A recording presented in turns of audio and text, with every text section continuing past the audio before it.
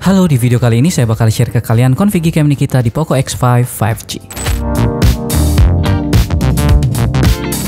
Di video ini saya bakal share config lagi nih untuk Poco X5 5G.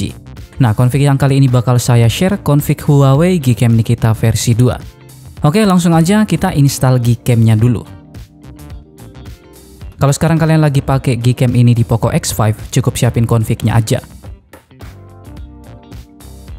Kalau Gcam-nya udah terinstall, langsung dibuka aja dan lanjut kita install config-nya kayak biasa.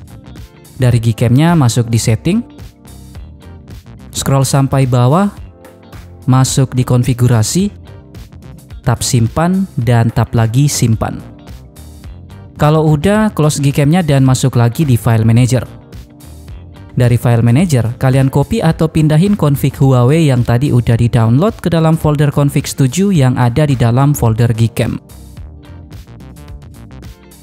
Perlu diingat lagi nih, kalau config yang ada di video ini ada passwordnya ya. Jadi videonya tinggal disimak aja biar passwordnya nggak kelewat. Kalau udah di copy atau dipindahin, kita balik ke Gcam-nya lagi dan dari Gcam-nya, tab dua kali bagian hitam ini, pilih config-nya dan tab kembalikan.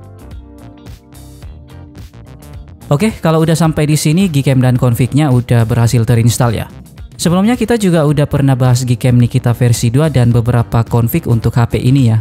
Dan config Huawei yang ada di video ini udah dijamin gak ada kendala juga kayak config-config yang sebelumnya udah pernah kita bahas. Untuk mode-mode yang ada udah work semua ya, terutama di mode-mode penting yang sering kita gunakan baik itu buat foto atau video.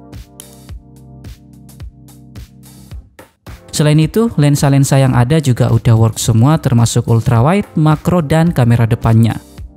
Nah, mode malam di config ini juga udah work termasuk astrofotonya ya. Ultrawide-nya juga udah support mode malam dan astrofoto, tapi kurangnya ultrawide-nya ini masih lumayan ngasih hasil yang noise, terutama di kondisi yang minim backup cahaya.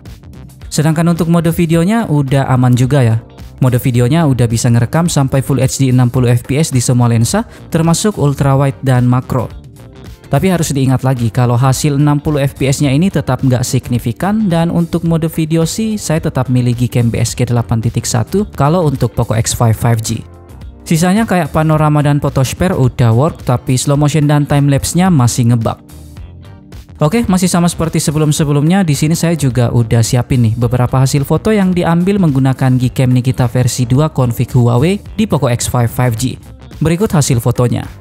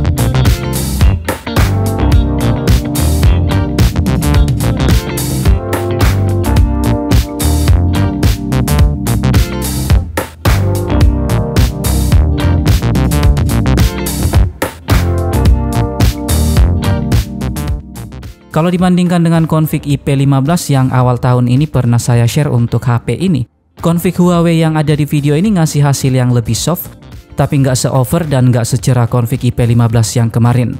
Untuk urusan detail juga masih tetap tajam dan pastinya jarang ngasih hasil foto yang over. Kurangnya sisa ultrawide aja sih yang tetap noise di kondisi low light, terus kamera depannya juga belum begitu maksimal. Selain itu udah recommended banget lah untuk Poco X5 5G dan pastinya udah bisa ngobatin kamera Poco X5 5G yang sampai sekarang masih sering direndahin user lain. Jadi itu dia config Gcam kita versi 2 di Poco X5 5G.